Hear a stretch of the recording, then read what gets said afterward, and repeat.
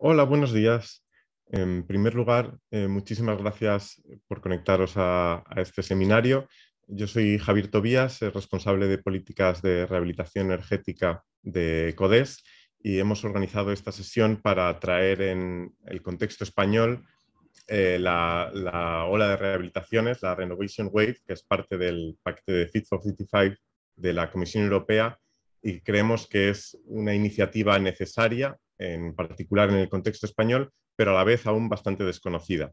Es una estrategia que se publicó desde, desde la Comisión Europea en eh, octubre de 2020 con la intención de llegar en 2050 a una Europa climáticamente neutra y además a través de la rehabilitación energética eh, poder obtener una amplia gama de beneficios sociales, ambientales, económicos, etcétera. Para traer esta, este paquete, lo que como está ahora mismo eh, en qué estado está ahora mismo en el Parlamento Comisión Europea, ver las partes que tiene y sobre todo más importante, ver qué nos falta aún en España quizás para llegar al, nivel que, vamos a tener que estar.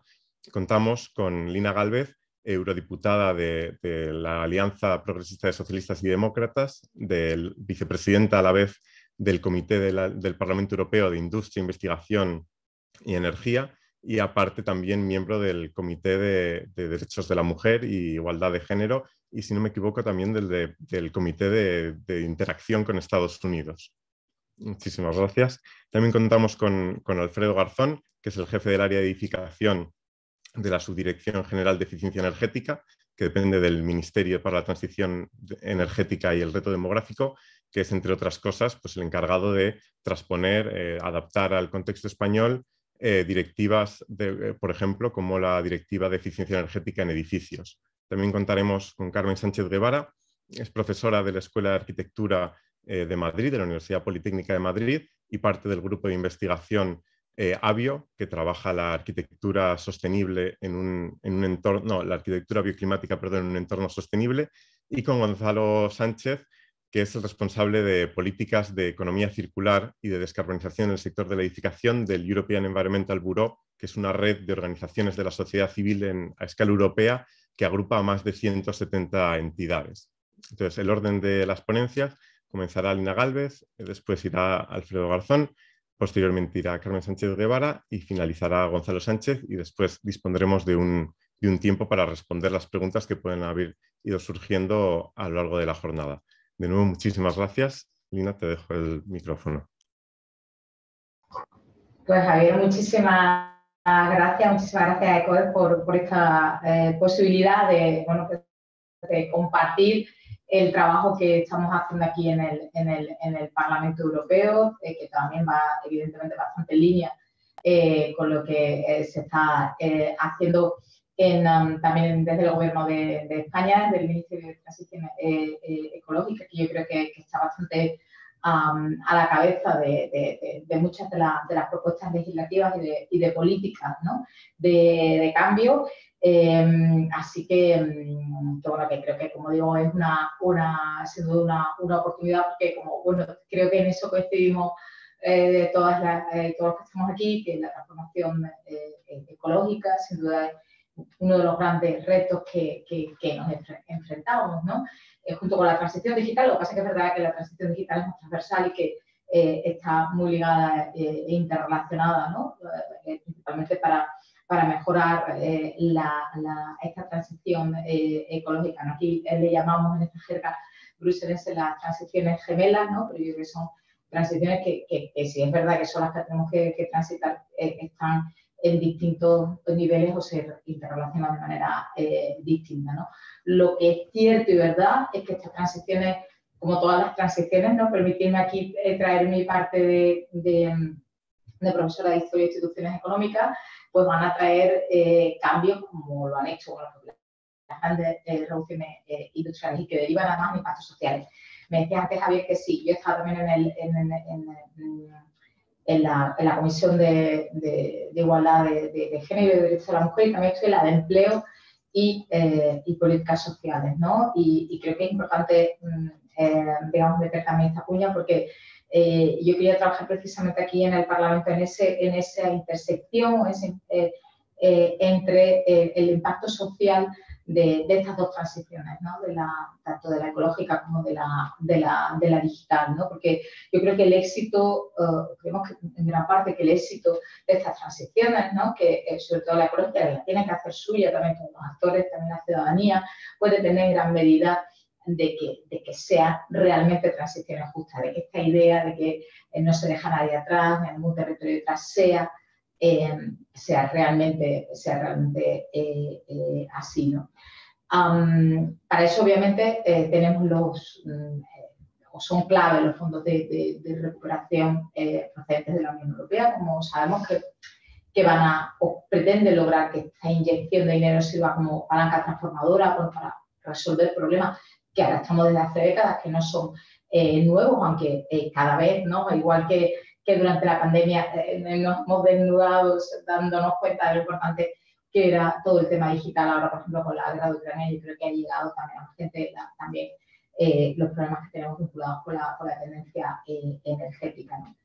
en cualquier caso, aquí, como digo, en el Parlamento trabajamos para hacer estas transiciones más, más, más, más justas. Sabéis perfectamente que que los 27 estados se han comprometido a alcanzar el objetivo de reducir las emisiones en un 55% para 2030 y hacer Europa la primera zona climáticamente neutral del mundo en 2050 y para ello es necesario una revisión de la legislación europea en materia de clima y energía. Yo creo que también hace falta algo más, quizás lo diré al final, pero bueno, al menos lo que está en nuestra mano de forma más clara, es eh, revisar esta legislación en materia de clima y, y energía. Para ello, bueno, pues se se estableció el objetivo del, European Green Deal, ¿no? del Pacto Verde Europeo, que se está traduciendo en diferentes iniciativas legislativas para adaptar la, legislación europea, como os decía, y alcanzar los objetivos climáticos a través de, del paquete legislativo eh, que se conoce como Fit for 55, ¿no?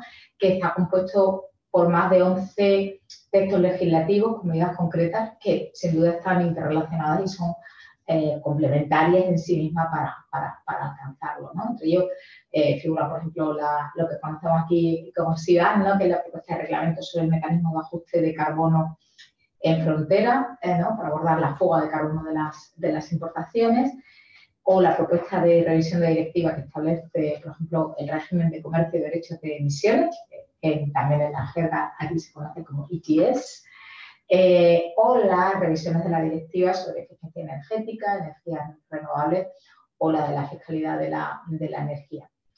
Em, me gustaría destacar también una especialmente, eh, no solamente porque eh, yo soy una de las, de, las ponentes de, la comisión de, IPRE, que es la creación de un fondo social para, para el clima, ¿no? que, mm, como digo, porque eh, porque estoy involucrada en ello, también porque creo que es, que es, que es importante que se tenga también en, en, cuenta, ¿no? Porque el objetivo es apoyar a, a, las ciudadanas y los ciudadanos más afectados por la pobreza energética por la movilidad y, por tanto, contribuir a, mitigar los costes de las personas más expuestas a estos cambios, ¿no? A fin de bueno, garantizar esa idea que decía al principio, ¿no? que la transición realmente eh, la podamos llevar una transición justa, que no deje a nadie eh, detrás. Esta propuesta la estamos debatiendo ahora mismo en el, en el, en el Parlamento. Eh, la propuesta inicial es que este fondo dure siete años y que aporte 72.000 millones de, euros para financiar la renovación de edificios, el acceso a una movilidad sin emisiones o con bajas emisiones o incluso el apoyo de, de rentas. Puede parecer mucho, a mí me parece poco, eh, ah, pero bueno, eh, es difícil, como sabéis, encontrar fondos y que eh, los Estados miembros estén dispuestos a financiarlo. Eh, estamos todavía muy en pañales de, fondos propios, ¿no? Estamos también en toda una estrategia de avanzar en fondos propios y quizás esto también va unido a, eso, en parte a esos fondos propios, pero eh, yo creo que, posiblemente necesitaremos establecer más, más, más, fondos de este tipo o um, mejorar ex ante toda la toda la legislación eh, para, para, paliar también las desigualdades que se puedan ir eh, generando. ¿no? de hecho, eh, durante las negociaciones, una, una, prioridad de nuestro grupo que hemos conseguido incluir, que se puedan financiar medidas, y en esto, bueno, pues agradezco también los trabajos previos que hemos tenido, para financiar em, em, medidas que proporcionen información específica, apoyo y desarrollo de, capacidades necesarias para implementar las soluciones de renovación de eficiencia energética y, acceso a servicios de movilidad y transporte sin emisiones o emisiones eh, bajas. ¿no? Un ejemplo de eso, y orgullosa de, haberlo llevado y haberlo peleado, eh, sería que el fondo pudiera cubrir la figura de la gente de servicios sociales que apoyen y sigan a, personas y hogares vulnerables en el, acceso a las medidas cubiertas por el, por el fondo, ¿no? Mm, el apoyo y otras tareas no materiales, ¿no? Que, eh, que son especialmente importantes cuando se trabaja con población en situación de vulnerabilidad, eh, que son al, fin y al cabo bueno, pues los destinatarios de este, de este, de este fondo. ¿no? Em, porque para poder realmente implantar las inversiones y medidas necesarias bajo este fondo es fundamental incluir sistemas de apoyo para reforzar las capacidades técnicas de información y el tiempo disponible eh, para, para estas personas, ¿no? porque estas inversiones en infraestructura que son muy necesarias y que seguramente que ahora eh, nos van a hablar de, de cómo se están eh, haciendo las personas que me, que me, acompañan en esta mesa, no, no, no funciona no funcionarán si, si, si digamos, bueno, pues las personas no, no, participan en esta, en esta transición y sobre todo si las personas que están más afectadas por, por, por esta, porque por todo este paquete legislativo, porque no podemos pensar que este paquete legislativo va a afectar a todas las personas igual porque es mentira. Las personas estamos en situación eh, eh, distinta por nuestra renta, por nuestro territorio, por el sector en el que trabajamos, por muchas, por muchas cuestiones y toda la legislación siempre nos afecta de manera desigual y esta yo creo que muy especialmente. ¿no? Y, em, y, por ejemplo, también mm, en, en, en, este, digamos, poder tener dinero para este acompañamiento, también hemos pensado en la, en la dimensión de, género que tiene, porque las mujeres eh, se ven especialmente eh, afectadas de manera desproporcionada eh, por esta pobreza energética y de, y de movilidad, precisamente que tenemos una, menos ingresos, eh, eh, también que em, el, son el 85% de las familias monoparentales eh, capitaneadas por mujeres, ¿no? que, son las que tienen especialmente problemas de, pobreza, en realidad incluida la pobreza de tiempo. Y la pobreza de tiempo impide también muchas veces bueno, pues el poder em, enterarse de, qué ayudas hay o de qué necesidades tienen, o, o siquiera de poder eh, eh, desarrollarlas. ¿no?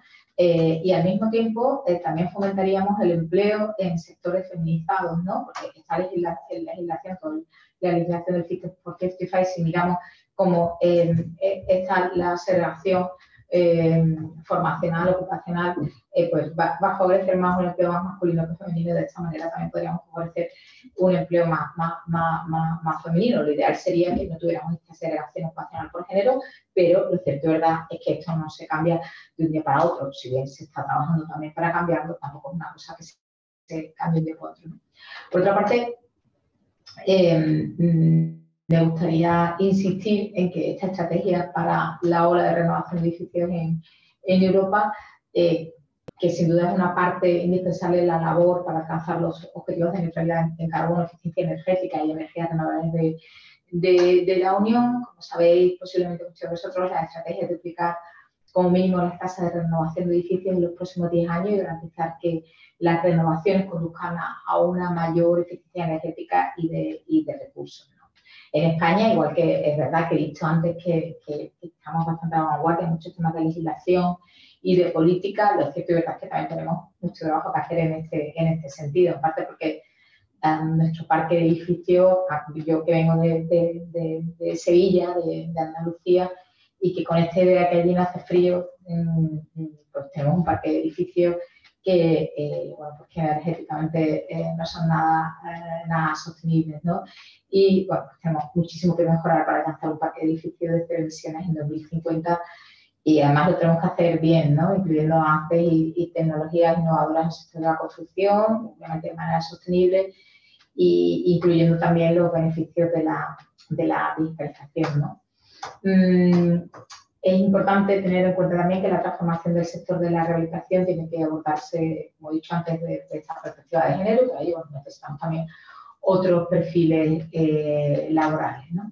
Mm, yo creo que ya tengo consumido los 10 minutos, por lo que voy a, voy a finalizar diciendo bueno, que estamos trabajando para que esta transición energética sirva no solamente para, digamos, mm, eh, eh, mejorar eh, la salud del planeta, sino también para mejorar la, calidad de vida de las, de las personas y que vaya acompañada de generación de empleo de calidad y pues atraiga a todos los talentos y que no deje a nadie detrás ni a ningún territorio detrás.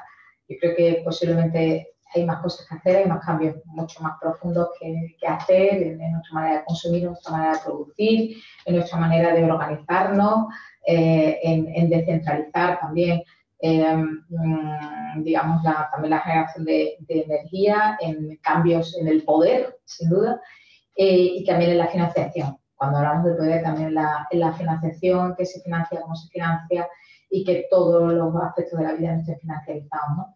Eh, pero bueno, eso ya daría para otra, para otro, mm, para otra discusión, que son aspectos muchísimo más complejos para lo que se necesita posiblemente unas mayorías sociales y de poder que no tenemos. Eh, pero bueno, que sepáis que, que, aquí, bueno, pues en el Parlamento estamos intentando al menos bueno, pues que esas transiciones, no es difícil encontrar los equilibrios políticos, porque no, no todos los partidos políticos, todos los grupos políticos están por la, por la labor, ya hay grupos políticos que son negacionistas con, con, el, con el cambio climático y con la transición eh, energética que tenemos que, que, hacer. Eh, y luego, bueno, pues hay otros que no ven que, que, esto vaya a tener impactos desiguales socialmente o territorialmente, ¿no? Con lo que, bueno, es, es difícil llegar a, acuerdos, pero ahí, ahí, andamos, ahí andamos luchando y, bueno, que contéis con, con, nosotros, ¿no? al menos con, con, mi grupo, con los socialistas y demócratas y conmigo para lo que, que necesitéis. También tenemos un, un, compañero, Marco Ross, que es, eh, que es arquitecto eh, en el grupo y que, y que está llevando bueno, pues también todos los temas de la nueva One House de, de forma muy directa y, y, bueno, que, también estará seguramente uh, encantado de, de ayudaros en lo más posible o de colaborar en lo más posible. Muchas gracias. Muchísimas gracias, Linda. Eh, así como primeras impresiones, lo que mencionabas de incluir dentro del Fondo Social para el Clima el apoyo a, esas tareas intangibles, más allá de, los, de, las inversiones infraestructurales, que es algo que muchas entidades hemos criticado de los fondos Next Generation, que al final solo financian, o en gran medida, no solo, pero en gran medida financian, como decías, inversiones en infraestructura, pues nos parecen eh, avances muy importantes. Como decías también, pues el Fondo Social para el Clima en general es todo un tema de discusión, hay mucha, hay mucha discusión en torno a ello y sin duda pues durante los próximos semanas, meses, pues habrá bastante que hablar sobre su financiación, las definiciones, etcétera, etcétera, pero bueno, seguiremos trabajando con ello. es todo un tema. Bueno, eh, la siguiente ponencia, como mencionaba, eh, irá a cargo de Alfredo Garzón. Alfredo, te dejo el micrófono. Muchísimas gracias. Gracias, Javier. Eh, bueno, voy a compartir una presentación de apoyo, ¿vale?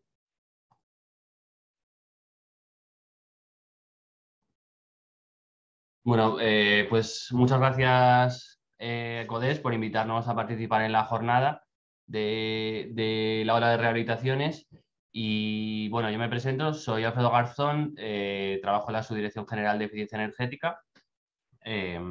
Soy, bueno, ingeniero del Estado y funcionario de carrera y para situaros, eh, dentro de nuestra subdirección que pertenece al Ministerio para la Transición Ecológica y el Reto Demográfico, pues trabajamos directamente y somos responsables de todo lo que tenga que ver con la eficiencia energética.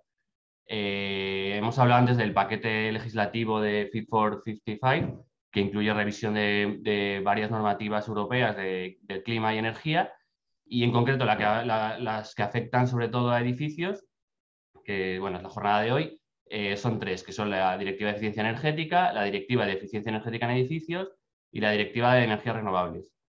Yo voy a centrar mi, presentación en la segunda, la de edificios, eh, que es la que, la que soy experto y en la que participo directamente. Pero bueno, mis compañeros y, yo habitualmente trabajo con las otras dos. O sea que están las tres interrelacionadas y todas afectan a edificios. Em, bueno, a nivel europeo, este es el, eh, hay una pata que es legislativa, que es la modificación de todas estas normas o creación de normas nuevas que tienen que ver con, clima y energía y que afectan a edificios. Y luego está la pata de fondos, que son los fondos Next Generation de la Unión Europea que, se traducen en el PRTR español y que, que sirven de apoyo a, la puesta en marcha de todo el paquete legislativo.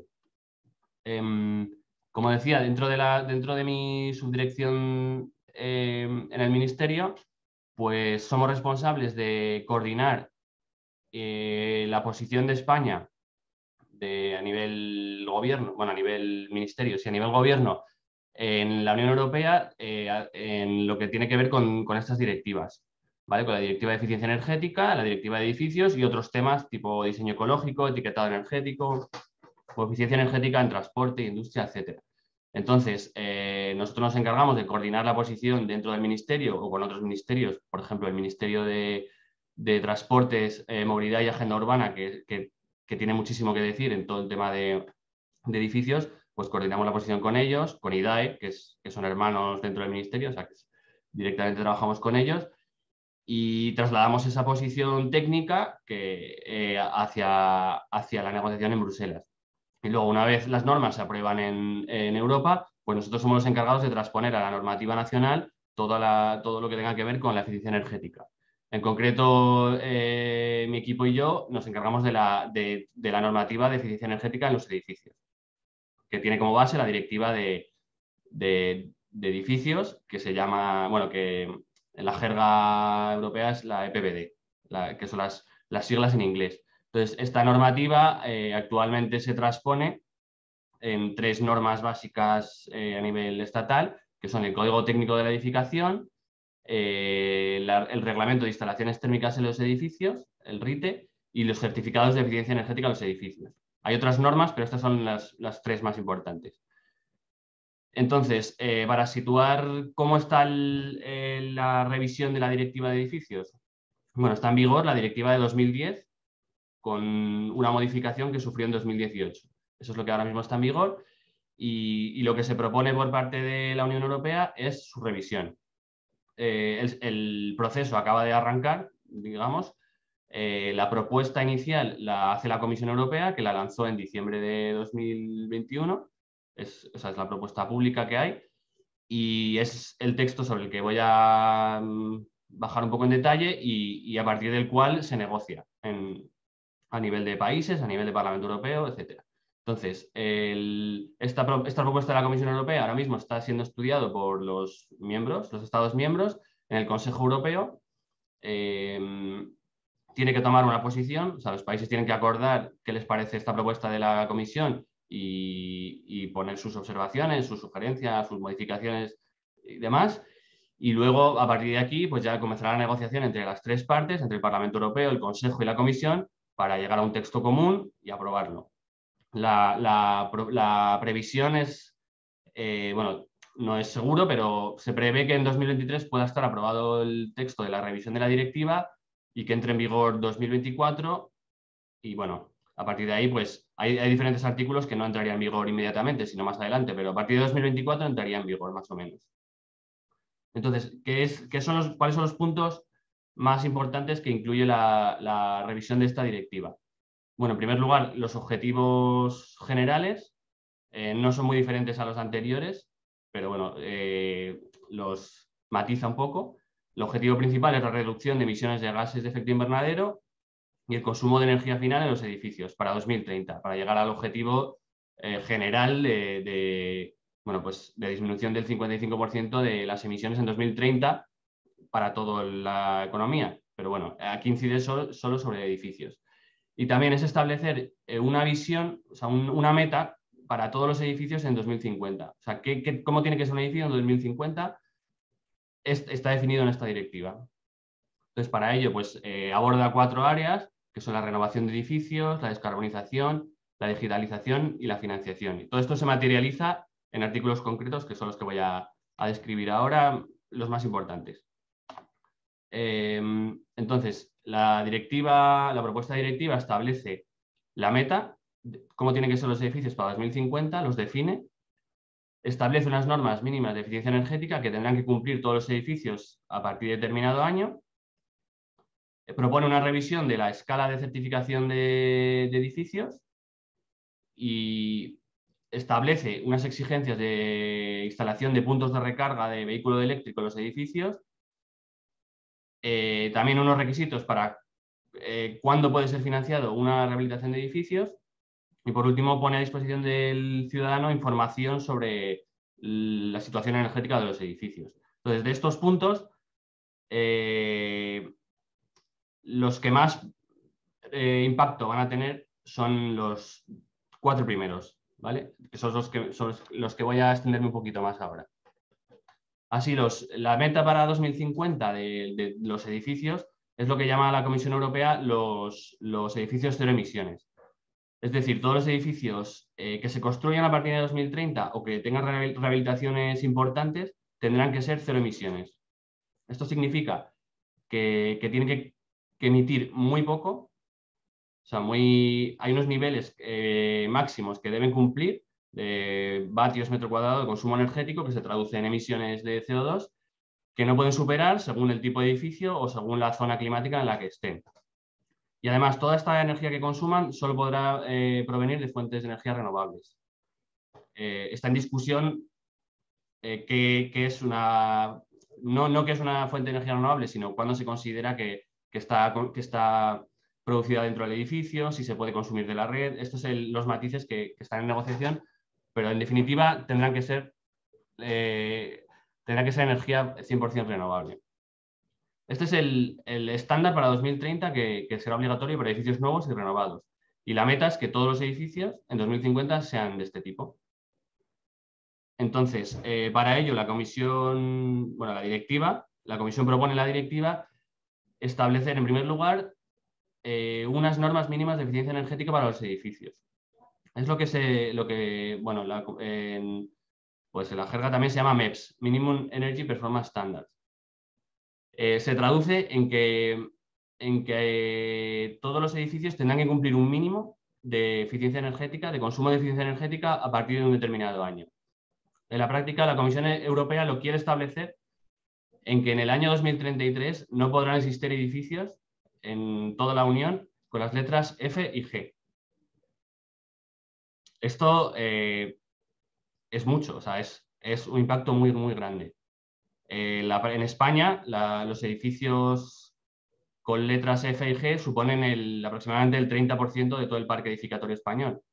Es decir, que para 2033 todos los edificios, o sea, el 30% de los edificios de España tendrán que ser rehabilitados para alcanzar niveles mínimos de eficiencia energética aceptables. Em, claro, eh, ¿cómo se hacen estas rehabilitaciones? Eh, eh, no, se pueden dejar en manos de, o sea, los ciudadanos no tienen dinero para rehabilitar sus edificios porque sí. Todo esto tiene que ir acompañado con, bueno, con los fondos que hay ahora o con los fondos que tiene que haber, porque si no, no, se puede conseguir. Pero bueno, en definitiva es, un, es una vuelta enorme a, a cómo, a cómo tiene que abordarse la rehabilitación de edificios, porque hasta ahora es algo opcional, que cada uno decide si, lo quiere hacer o no, con los fondos que hay, con su propio dinero, pero según la directiva, según la propuesta directiva, será obligatorio a partir de determinado año un, consumo mínimo de, una letra. En definitiva, alcanzar una letra en, los edificios. Entonces, bueno, hay, diferentes eh, Em, escalones según el tipo de edificio, según el, calendario establecido. Es más ambicioso para los edificios no residenciales que para los residenciales, por ejemplo. Pero bueno, en definitiva, es 2033 es el año límite para que todos los edificios sean rehabilitados como mínimo para alcanzar una letra E. A partir de ahí, pues bueno, los Estados miembros tienen que establecer objetivos más, más allá de 2030, para 2040 y 2050. Y como he dicho, los, eh, los Estados miembros tienen que poner a disposición de, la ciudadanía, de las empresas, medidas financieras para, abordar estas rehabilitaciones, porque, como ya ha comentado Lina en la, charla anterior, pues hay, situaciones en las que hay que ayudar a personas vulnerables, hogares vulnerables, eh, territorios concretos que no disponen de fondos y que, hay que, y que los Estados miembros tienen que ayudarles, porque si no es imposible. Entonces, em, si hay algo que subrayar en, mi presentación, yo creo que es este punto. Es lo más importante que incluye la directiva y lo que más impacto debería tener. A partir de aquí, pues ya cómo se hace esto, eh, pues ya hay diferentes mecanismos y, formas de, ayudar al ciudadano, de, establecer mejores formas de, información. Entonces, el, instrumento principal que, se ha venido manejando siempre, bueno, siempre, los últimos 15 años, es la certificación de eficiencia energética en los edificios, que es el instrumento que, valora la situación energética del edificio y, sirve de guía para, la rehabilitación de los edificios.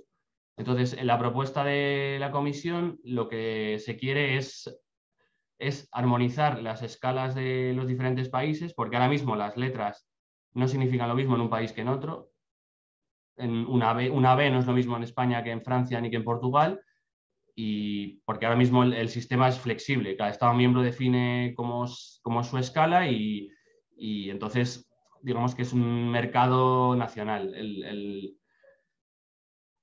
escalado y, no, no, puedes no, se pueden comparar las, inversiones por, eficiencia energética entre diferentes Estados miembros. Entonces, eh, la propuesta es, empezar a armonizar estas escalas y para ello pues, eh, se establecería que la letra A son los edificios de cero emisiones, los que he comentado antes. La letra G, que es la última, eh, incluiría el, 15% de los edificios menos eficientes del parque inmobiliario de cada país y el resto de letras se distribuiría de forma uniforme. Em, eh, a partir de aquí, pues ya si, hay escala, una, buena escala armonizada a nivel Unión Europea, pues tiene sentido que las inversiones se, se puedan comparar de un país a otro, que, que las exigencias eh, pues sean también comparables de un país a otro y que, en definitiva mm, no por estar en otra zona climática puedes estar perjudicado. Em, una vez se reforme la escala de eficiencia energética, pues, pues también hay, que, hay otros tipos de información que el ciudadano eh, y las empresas tienen que tener disponible para saber cómo es su edificio y, lo que les conviene para, para su rehabilitación. Entonces, la directiva propone que los certificados de eficiencia energética sean de acceso público, que haya una base de datos eh, por países, o sea, por cada país, una base o varias bases de datos que incluyan toda la información de los certificados de eficiencia energética que sean útiles para, los, para los propietarios, para los, para los arrendadores, para los arrendatarios, para todo, todos los que tengan todos los que necesiten la información de, de, la situación del edificio energética, pues, pues tengan acceso a ella. También sobre, no solo sobre el edificio en general, sino sobre las instalaciones, sobre los sistemas de calefacción, de climatización, de agua caliente, de las inspecciones, que todo esto también esté disponible para, los, propietarios, para los usuarios y propietarios de los edificios. Además, también hay propuestas para, para establecer indicadores o nuevos documentos que, ayuden a conocer cómo es el, el edificio y, cómo tiene que rehabilitarse, como son el ciclo de vida de carbono del edificio, el pasaporte de renovación, etcétera. Pero bueno, más, es más, lo más importante es el certificado de eficiencia energética, que se, que se pretende revisar y darle más empaque y más, más unidad a nivel, a nivel europeo. Eh, luego, otra medida que se propone en la directiva y que puede tener mucho impacto, sobre todo económico, porque requerirá de inversiones, es la instalación de puntos de recarga de vehículo eléctrico en los edificios. Ahora mismo, eh, con la directiva de 2018 ya se empezó a obligar a los Estados miembros a establecer niveles mínimos y España ya lo ha, pues, lo ha empezado a poner en marcha el año, eh, creo que a final de 2021 con Real Decreto Ley. A principio de 2000, bueno, ya lo ha empezado a poner en marcha, pero la propuesta es endurecer algo las, las exigencias tanto para edificios nuevos y renovados, que, básicamente deberán contar con toda la instalación de precableado para poder instalar puntos de recarga en todos los aparcamientos de edificios, con un determinado número de plazas mínimo. Y luego para edificios eh, existentes, pues para los no residenciales, eh, exigencias de, instalación de puntos de recarga eh, importantes, que bueno, los números y los plazos no son definitivos, todo eso está en negociación, es la propuesta de la directiva y, es el punto de partida sobre el que se tiene que negociar. Pero, pero los números ya están ahí, la comisión ha puesto un número y a partir de ahí pues, pues, pues endurecerán, no creo que se endurezcan, pero a lo mejor se relajan un poquito, pero más o menos irán por ahí. Y además, en, todo este tema de electromovilidad y, edificios, pues se, se pretende que, las bicicletas empiecen a cobrar un, cierta importancia y ya todas las instalaciones de, aparcamientos que incluyan puntos de recarga, pues también deberían incluir plazas para bicicletas.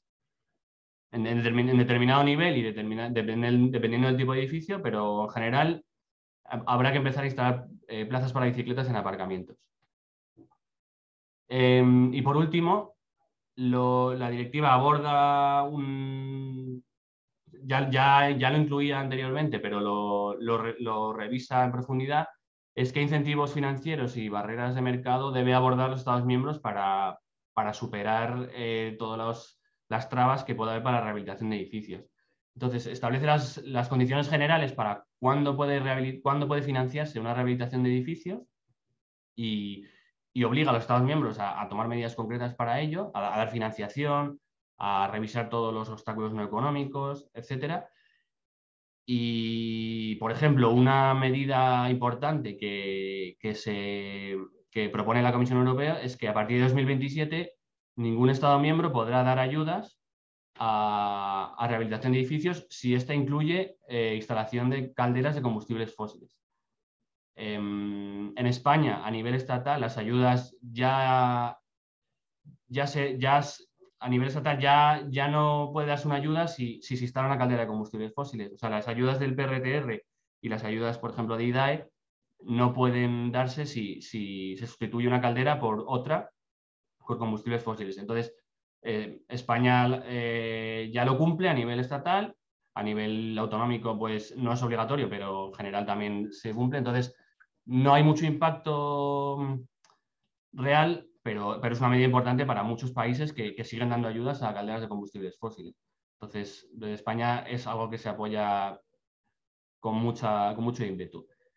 Y como he dicho antes, pues todos estos incentivos financieros tienen que estar centrados en hogares vulnerables y situaciones particulares en donde no, no hay dinero para, para acometer las rehabilitaciones, entonces es necesaria la ayuda estatal.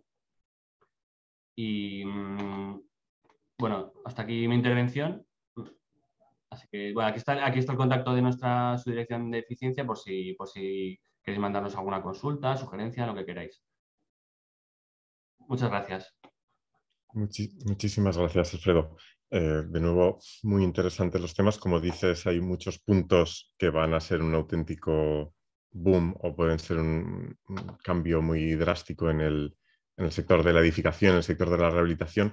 Hablabas de un 30% de edificios con, F o peor certificación, pero entiendo que incluso cuando se actualice la certificación energética puede que estemos en cifras aún mayores, porque si al final queda el 15% como G y luego se distribuye equitativamente, considerando que edificios de consumo nulo hay bastantes pocos en España, puede que incluso más edificios, no sé si tenéis esa cuenta hecha, pero, pero bueno, hay muchos temas que seguro que luego en, en, el punto final de, debate, pues salen bastante. Eh, aprovecho el, punto de, que hayas acabado hablando de, bueno, casi acabado hablando de temas de movilidad sostenible o de, ir más allá del propio entorno edificado para dar paso a, la presentación de Carmen Sánchez Guevara. Carmen, tienes el micrófono. Muchísimas gracias. Bueno, pues eh, buenos días. A ver si consigo presentar esto bien. Vale, yo creo que sí que, sí que lo veis. Bueno, pues en primer lugar, muchas gracias a ECODES por esta invitación. La verdad que, mm, bueno, pues una suerte de tener este, estos compañeros de, panel.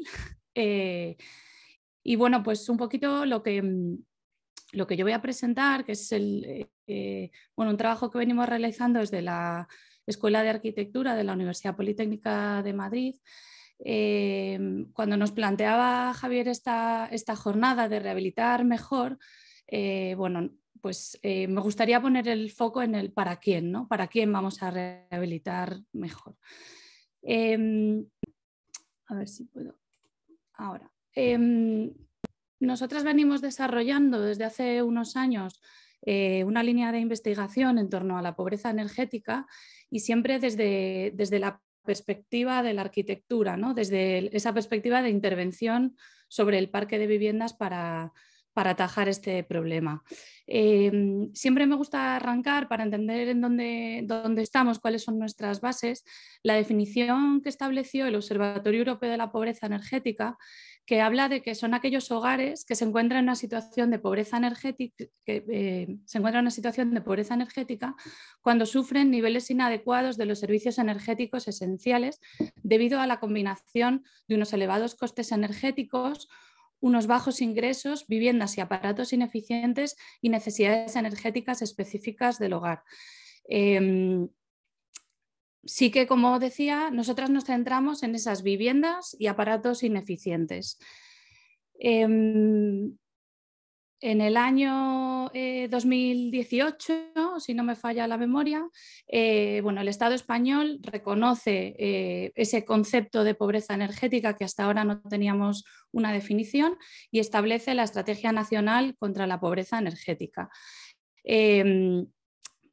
Aquí traigo la tabla de la última actualización en la que se puede ver estos cuatro indicadores, que es el gasto desproporcionado en energía de los hogares, la pobreza energética escondida, los que declaran tener una temperatura inadecuada en su vivienda en invierno o los que han sufrido retrasos en el pago de facturas en el último año. Y aquí podríamos ver cómo, ha evolucionado esto pues, en los últimos años hasta 2020, es donde tenemos la, estadística.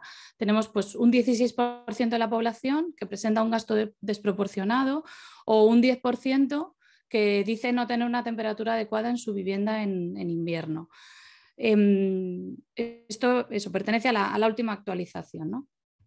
Em, bueno, conforme a trabajos que se han realizado desde la Escuela de Arquitectura, este es un trabajo realizado por compañeras del Departamento de Urbanismo, se ha venido analizando durante mucho tiempo el parque de viviendas que tenemos. Esto es eh, de enorme importancia y creo que en la jornada de hoy está más que claro, porque estos hogares vulnerables, la manera de atajar eh, esos problemas de pobreza energética tienen que ver con la intervención en el parque. Esto es lo que, lo que generará soluciones duraderas a largo plazo.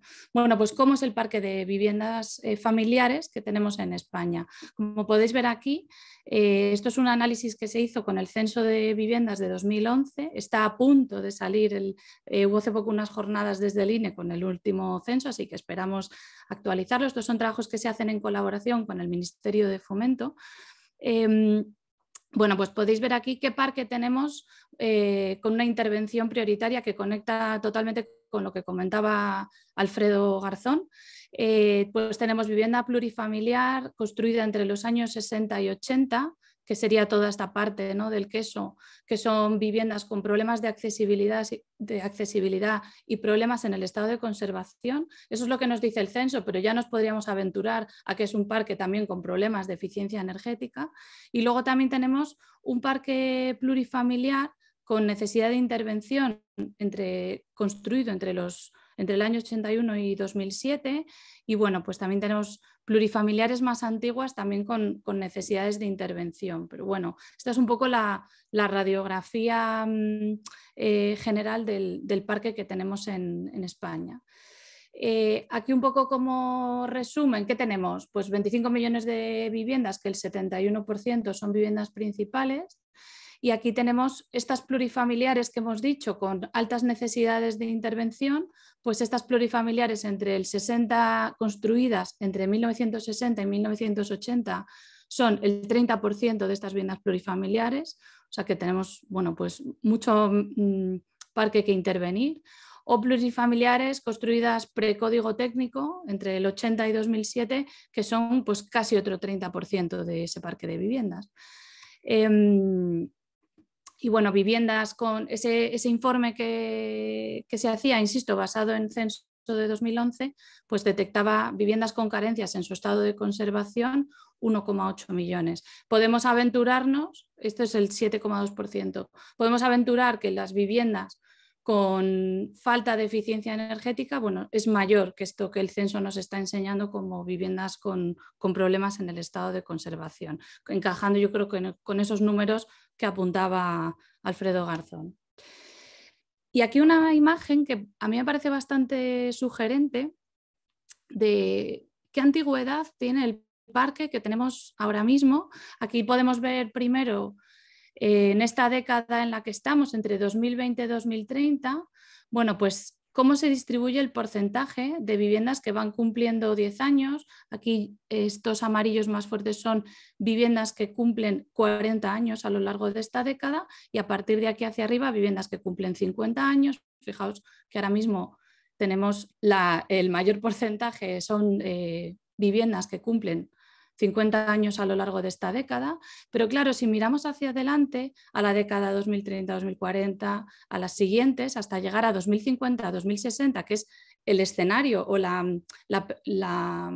fecha que nos ponemos ¿no? para, para estos objetivos 2050, pues tendremos un grandísimo porcentaje de viviendas, el mayor que cumplirá, que estará cumpliendo más de 90 años. ¿no? Entonces, esto es algo que se debe de, de conjugar con esa visión de cómo queremos que sea nuestro parque en el año 2050. Esas rehabilitaciones, cómo van a ser, porque vamos a tener eh, edificios eh, nonagenarios ¿no? sobre los que estaremos interviniendo. Eh, dentro de este marco mm, de, este parque de viviendas, pues claramente envejecido, con algunos problemas de mantenimiento, con ciertos problemas y serios problemas de eficiencia energética, hemos participado en la redacción desde la Politécnica de la, actualización de la estrategia a largo plazo para la rehabilitación energética en el sector de la edificación en España. Esta estrategia em, se deriva de una directiva europea que obliga a los Estados miembros a tener estrategias de, intervención sobre su parque de viviendas. ¿no? ¿Cuál es el plan que cada Estado miembro tiene para su parque de viviendas y cómo va a intervenir sobre este parque de viviendas, que insisto, creo que ese dato de para el, año 2050 tenemos una gran mayoría de edificios eh, nonagenarios. Em, bueno, pues en esta, la última actualización de 2020, eh, bueno, ocurren, aparecen cosas importantes como que se introducen novedades en, materias de, en materia de pobreza energética y consumidores vulnerables y se, establecen consideraciones y recomendaciones de desarrollo de políticas. Em, bueno, este, este, apartado de la estrategia se nos encarga a nuestro equipo de la Escuela de Arquitectura y, por qué se, se, quiere desarrollar este apartado de manera específica. Bueno, pues se sabe desde el Ministerio de Fomento que estos hogares en situación de pobreza energética van a necesitar un apoyo específico y como ya comentaba también eh, Alfredo Garzón, van a necesitar una, inversión específica diferenciada del resto de hogares porque estos hogares no son capaces de acometer mejoras en su, en su parque de viviendas. Bueno, para esto eh, aplicamos para ver, se nos pide desde el Ministerio, bueno, necesitamos saber cuántos hogares en situación de pobreza energética tenemos y saber si, los esquemas actuales de financiación, que ya sabéis que las ayudas a la rehabilitación energética están vinculadas ahora mismo al IPREM, queremos saber si este IPREM casa con, lo que vosotras decís que son nuestros hogares en situación de pobreza energética, de manera que queremos ver si las políticas que desarrollamos van a ser realmente eficaces para estos hogares. Y para esto eh, pues nosotras aplicamos una metodología propia de evaluación de pobreza energética que, tiene en cuenta esta, esta renta. ¿no? La explico muy brevemente. Em, evaluamos los hogares por su gasto en energía y por su renta, utilizamos como base de datos la encuesta de presupuestos familiares y lo que añadimos o la, quizá la innovación que tiene esta metodología que utilizamos es incorporar el umbral de, pobreza monetaria tal y como lo establece Eurostat, en el 60% de la mediana de la renta equivalente. Aquí lo que vamos a ir haciendo no es más que un gráfico de dispersión muy sencillo en el que los hogares se ordenan en función de su renta y su gasto. Y bueno, aquí vamos estableciendo umbrales. ¿no? Este sería el umbral de la, pobreza monetaria, de tal manera que todos los hogares que caen por debajo de esa línea estarían en pobreza monetaria.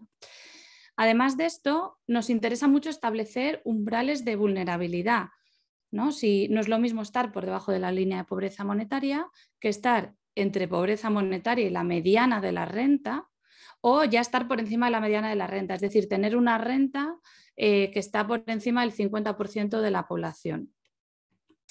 Y además incorporamos el umbral de, pobreza energética de gasto excesivo que eh, coincide bastante con el 10% de gasto. Por eso utilizamos el 10%, porque es, una, es un valor eh, muy redondo y que, prácticamente se solapa con, ese doble de la mediana de, gasto de los hogares.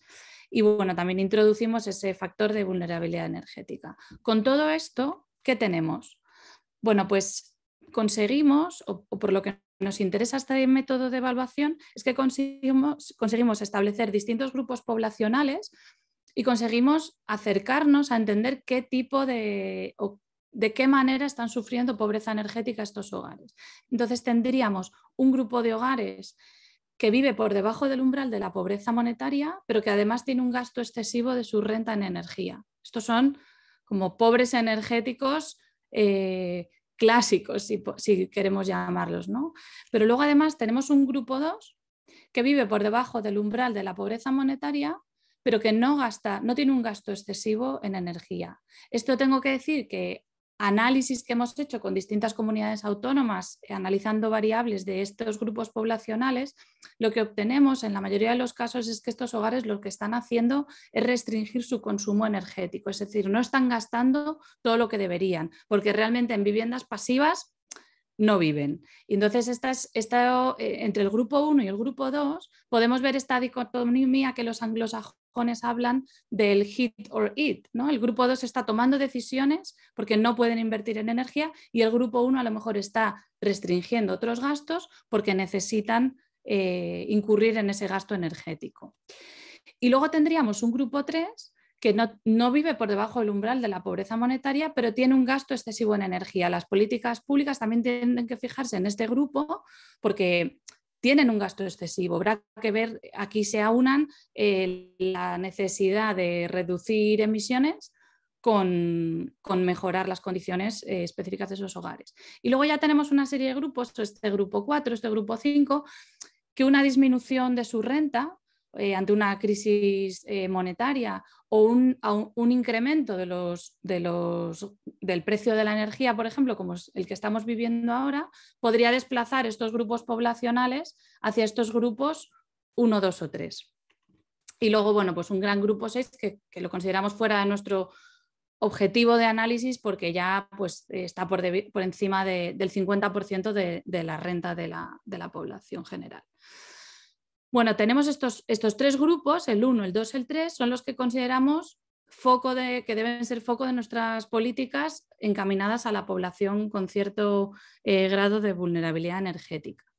Entonces, em, trabajando con los técnicos del Ministerio de Fomento, nos proponen, este es el mismo gráfico, pero nos proponen aquellos hogares que viven por debajo del umbral de la pobreza monetaria, intentar desagregarlos un poquito más, ¿no? Y, y no solo fijar el 60% de la mediana de la renta, sino fijar el 40, ¿no? Con lo cual, bueno, pasamos de tener como tres grupos, de diferenciar esos pobres energéticos en tres grupos a tener cinco, ¿no? Pero ponemos otra vez el foco en estos hogares. Em, ¿cómo, qué, ¿Cuántos son? ¿no? Porque esto está muy bien, pero ¿qué, porcentaje de la población de los hogares españoles están en estos grupos? Bueno, pues a nivel estatal, todos estos grupos representan el 24% de los hogares españoles. Em, ahí tenéis desagregado. Esto, por supuesto, son datos, eh, estas tablas están dentro de la ERS, que están disponibles eh, para todo el mundo dentro de la web del Ministerio de Fomento. Además de esto, eh, claro, no nos olvidemos que esto lo hacemos en el contexto de la ERS, lo queremos para poder intervenir sobre el parque de viviendas. Entonces, uno de los análisis clave era saber, bueno, ¿y dónde viven? ¿no? ¿En plurifamiliares o en unifamiliares? ¿Dónde tenemos que enfocar las políticas de rehabilitación? Eh, bueno, pues un 14% vive en plurifamiliares. Esto se debe a que la, mayor, la gran parte de los hogares españoles viven en plurifamiliares, con lo cual es lógico que encontremos más población con estos problemas en plurifamiliares y un 9% en unifamiliares. También tenemos bueno, el análisis relativo. ¿no? Una, luego también es interesante la reflexión como una unifamiliar necesita mucha más energía para climatizarse y entonces también bueno, encontramos bastantes problemas de, pobreza energética en, hogares unifamiliares. Y luego por zonas climáticas. Claro, esto es muy interesante y muy importante de cara, de cara a las intervenciones. Bueno, pues aquí lo dividimos, esto lo hicimos así, Atlántico Norte, continental y Mediterráneo, para estar en consonancia con los estudios de Spahausek que se habían hecho en el IDA en los últimos años. Pues fijaos, tenemos em, por porcentajes hay, un 13% de hogares en situación de pobreza energética en, la zona mediterránea, pero además eh, de todos los hogares vulnerables, si solo cogemos ese pedacito de población, más de la mitad viven en, la zona mediterránea. ¿no? Esto nos, habla de, políticas específicas de qué vamos a hacer y ahora voy a contar brevemente qué, qué pasa con estos climas más cálidos. También antes Lina Galvez, que comentaba esto, ¿no? ¿Qué pasa con, los, con, las zonas más cálidas, con las zonas del sur? Y luego aquí una, una desagregación también por comunidades autónomas, ¿no?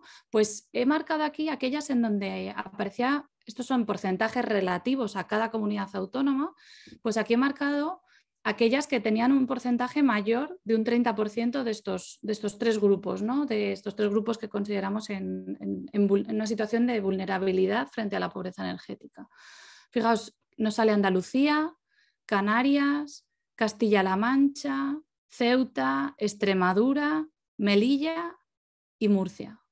¿No? Es sorprendente cómo eh, países de, o sea, países, eh, comunidades autónomas de, la zona del sur. Aquí habría mucho que debatir porque muchas veces estas comunidades son también a veces comunidades con rentas más bajas, con lo cual, pues ese gráfico que a mí me parece muy, muy legible para entender las dinámicas de la pobreza energética, en cuanto tenemos más población con rentas bajas, aumenta la situación de pobreza energética, obviamente. Y aquí sí que me gustaría, y ya em, me queda poquito para terminar, Javier, em, lanzar esta reflexión. Eh, y además tenemos aquí a Alfredo Garzón, que me parece enormemente interesante.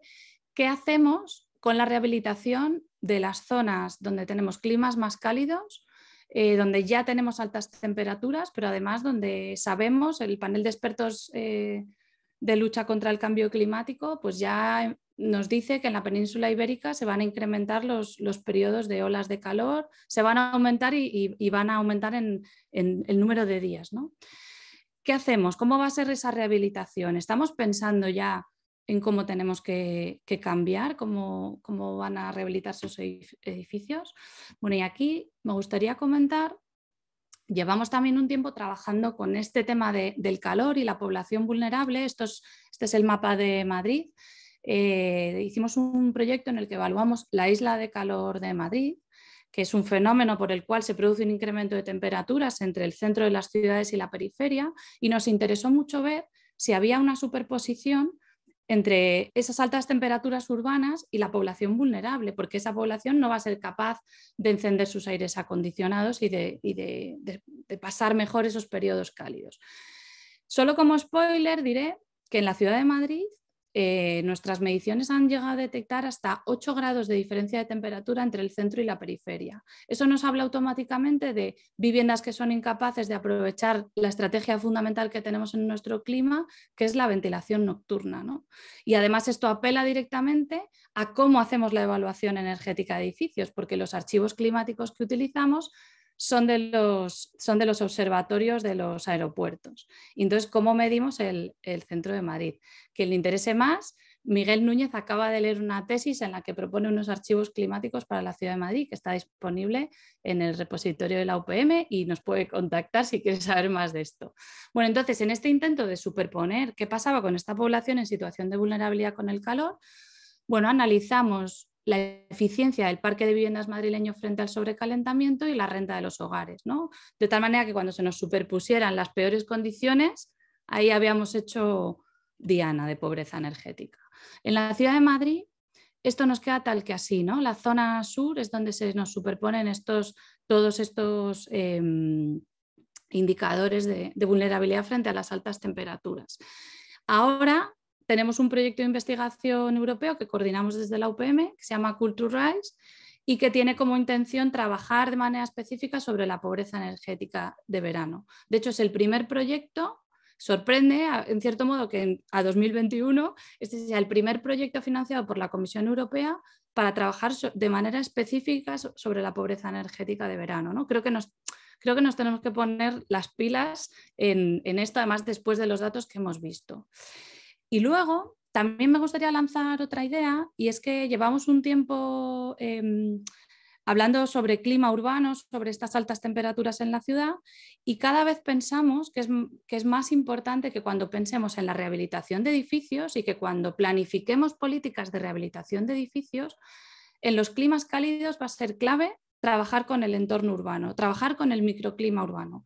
En los países del norte de Europa funciona muy bien hacer edificios termo súper aislados, por eso Passive House funciona también, aunque bueno, ya están empezando a tener sus problemas de sobrecalentamiento, pero eh, es, un edificio es capaz de combatir las temperaturas extremas de frío aislándose, pero en nuestros climas el solo el aislamiento no vale, solo el bloqueo de la entrada de radiación no vale, necesitamos focos fríos para los momentos de verano. Y estos focos fríos pues si no, vamos a una solución individual de instalación de aires acondicionados, que la población vulnerable pues es previsible que, no vaya a poder eh, disfrutarlos, la solución colectiva se tiene que dar desde, desde la ciudad y se tiene que dar desde la intervención en el espacio urbano de trabajar en la bajada de temperaturas del microclima que rodea los edificios para ayudarles a hacer frente a esas altas temperaturas. Entonces, esto es como una bomba porque de repente nos tenemos que salir de nuestros límites del edificio y empezar a pensar en una intervención conjunta. ¿no? Esto aumenta la complejidad porque de repente mete a las autoridades locales en, esta, en, esta, en este lío. Pero bueno, y ya acabo, eh, simplemente como ideas importantes, bueno, poner a las personas en el centro de la rehabilitación. Yo creo que ya las intervenciones anteriores ya han hablado de eso y yo creo que ya lo vamos teniendo asimilado, que es fundamental que la rehabilitación tenga esa visión emancipadora del uso de la energía, ¿no? Y cada vez más vivimos estamos viviendo una crisis ambiental y de recursos que de repente la guerra de Ucrania nos, nos ha recordado pero debemos primar ante todo los sistemas pasivos, ¿no? el, intentar necesitar la mínima energía posible. Eh, considerar distintas capacidades de inversión de los hogares. En ese gráfico vemos no es lo mismo lo que la necesidad de inversión que necesitan los hogares eh, con menos renta, que no pueden hacer frente a, a la mejora de sus viviendas, eh, y luego como clave la adaptación al cambio climático y la mitigación de las altas temperaturas en el espacio urbano, que nos lleva a un enfoque mucho más integrado de esta, de esta rehabilitación energética. Y por mi parte, nada más. Eh, ahí tenéis mi correo por si alguien quiere pues, pedir estos estudios. La mayoría están disponibles. y muchas gracias de nuevo. Muchísimas gracias, Carmen. Eh, Súper interesante todo lo que has traído. Hay muchos temas, pero por, pararme en algo antes de, dar paso a Gonzalo, el tema de la complejidad de la pobreza energética y como, por ejemplo, a día de hoy en el plan de recuperación eh, del, de los fondos Next Generation, al final son las comunidades autónomas las que están definiendo las condiciones para esas ayudas adicionales al 100% y, como decías, en muchos casos se está limitando a indicadores de renta que pasan por alto pues, muchos temas de, condiciones de la vivienda, de condiciones adicionales vinculados a la pobreza energética y que sin duda pues, son asignaturas pendientes que esperemos que en la próxima renovación del ERS o si no me equivoco, según la, la EPBD será el Plan de Renovación Nacional o tiene otro, otro nombre, pues se contemple en mayor detalle. Y volviendo quizás a, la EPBD y, cosas eh, a plantear dentro de ella y otros aspectos que aún, por desgracia, estamos muy lejos en, España en materia de rehabilitación, doy paso a Gonzalo. Muchísimas gracias, Gonzalo. Eh, tienes el micrófono. Muchas gracias, Javier. Em, bueno, la verdad es que voy a tener que hacer una buena presentación porque las dos anteriores han sido muy buenas. Vamos a ver. Em, Nada, muchas gracias primero por, invitarme a esta sesión y eh, la verdad es que es un placer eh, estar aquí y escuchar a, los ponentes. Em, voy a compartir mi pantalla. Em, bueno, eh, me llamo Gonzalo, yo, como ha dicho Javier, eh, trabajo en la European Environmental Bureau, que es una red de ONGs medioambientales eh, europea, en la que trabajamos pues, haciendo incidencia política en las políticas europeas, intentando un poco traer las, los argumentos y la evidencia de la necesidad de hacer políticas que impidan los efectos negativos del cambio climático.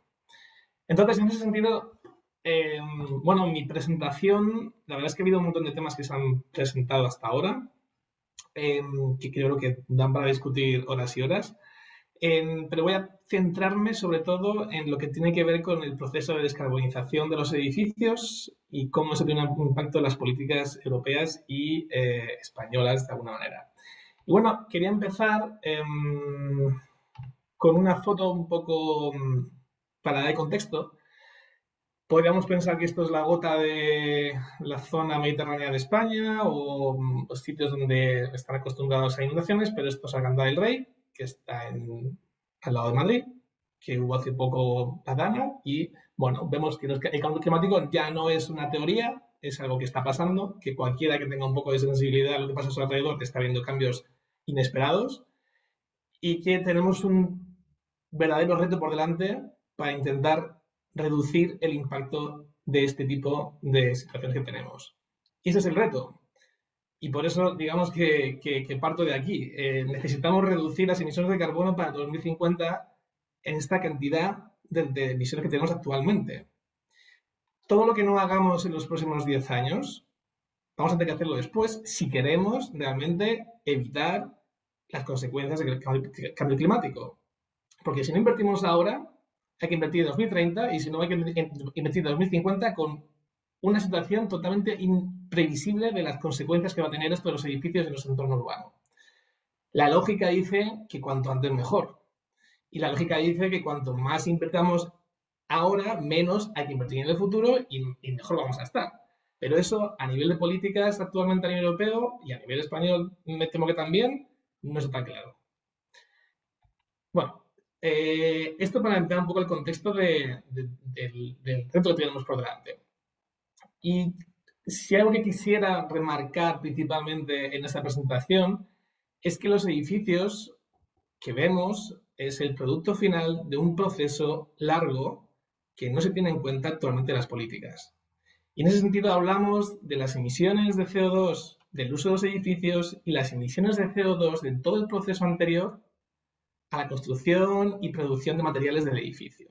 Lo que se dice las emisiones operacionales, que es lo que principalmente intenta atajar la, eh, Directiva de Eficiencia Energética de Edificios, y las emisiones incorporadas. Aquí podéis ver que en la línea azul, que podéis ver aquí, las, columnas azules, se está atacando, pues, básicamente se está, digamos, eh, presentando cuáles son las emisiones de CO2 de un edificio en su uso. Pero las amarillas son las que tienen que ver con todas las emisiones producidas por la producción de, materiales, el transporte de materiales, la construcción de edificios y toda la gestión de residuos eh, una vez estén desmantelados o se van a demolir. Como vemos, no es algo a no tener en cuenta. Y estamos hablando de que en muchos casos puede resultar incluso el 50% del uso de las energías, la gestión de materiales, de procesos y de, gestión de los edificios.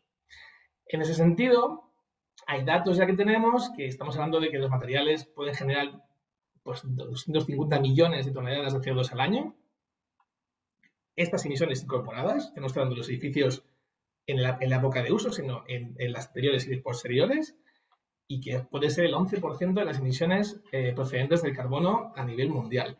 En muchos países en Europa que tienen eh, eh, rangos de eficiencia energética mayores pueden llegar hasta ser 40% de las emisiones de CO2 incorporadas en los edificios, lo cual supone un porcentaje excesivamente algo a no tener en cuenta. Es más, ¿es suficiente si abordamos la, energía, la eficiencia energética de los edificios? Pues me temo que no. Em, ¿Por qué? Porque, como estamos comentando, las políticas europeas se centran en la eficiencia energética, en el uso del edificio, pero como vemos en, esta gráfica, en la columna mm, roja, la ausencia de políticas que tengan que ver con lo que vamos a denominar eh, de aquí a partir de ahora, la articularidad y la suficiencia, medidas de suficiencia para mitigar esos efectos de las emisiones incorporadas, el impacto que tienen neutraliza todo el logro conseguido con la energía eficiente. Y podemos ver que nos quedamos en una situación un poco nula. Y no hay políticas actualmente que estén promoviendo este problema. Y eso es un problema que vamos a ir acumulando si no hacemos nada al respecto. Y en ese sentido, sí me gustaría, em, digamos, abrir un poco el, debate y empezar a pensar en, lo que llamamos el, el SER eh, Framework, que es básicamente la conjunción entre la energía eficiente, la, la, mejora de la energía eficiente en los edificios, la introducción de todo lo que tiene que ver con energías renovables, pero también lo que llamamos la suficiencia energética. Que eso quiere decir que necesitemos menos energía. La eficiencia lo que hace es, de alguna manera, mejorar el uso de la energía. Las renovables te provee, te, provee con energías limpias, pero ¿qué pasa con, con el nivel de consumo que necesitamos para vivir? ¿No podemos reducirlo? Probablemente sí. Y es un poco uno de los puntos también a tener en cuenta. Y eso se reduce de dos maneras, con medidas de suficiencia y con circularidad. En ese sentido, digamos que la suficiencia y la circularidad son dos aspectos que tienen que ver con la reducción de la demanda de energía, de materiales, de tierra, de agua y otros recursos naturales en el ciclo de vida del edificio. Y que eso nos mantiene dentro de unos estándares de vida decentes para todos. Y bueno, em, para un poco dar la, la visión general de lo que es un edificio de emisiones nulas, Efectivamente, como decía Alfredo, en la, nueva directiva se da una definición, pero lamentablemente esta definición solo se centra en el aspecto operacional.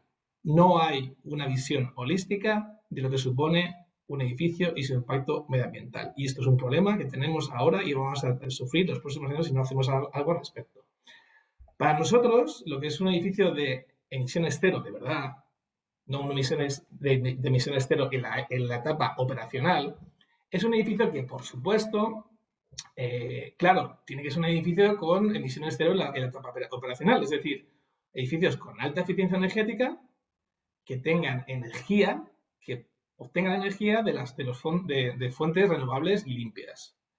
Pero también son edificios que tengan en cuenta cuáles son las emisiones incorporadas en su proceso de construcción, de mantenimiento y de gestión de residuos. Y esos, esos límites hay que definirlos.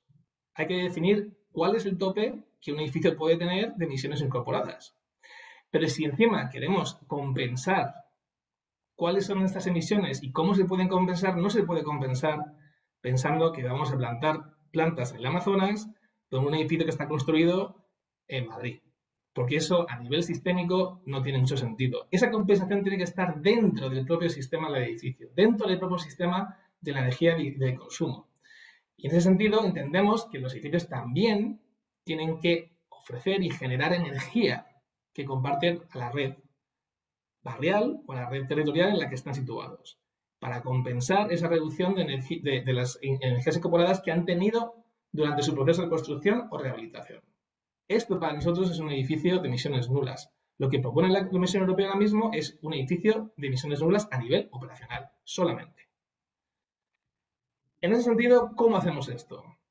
¿Qué se puede hacer para conseguir estos, emisiones, estos edificios de emisiones nulas? Pues voy a proponer dos principales, digamos, herramientas o estrategias que pueden incluirse dentro de la ley y que se pueden implementar a nivel español.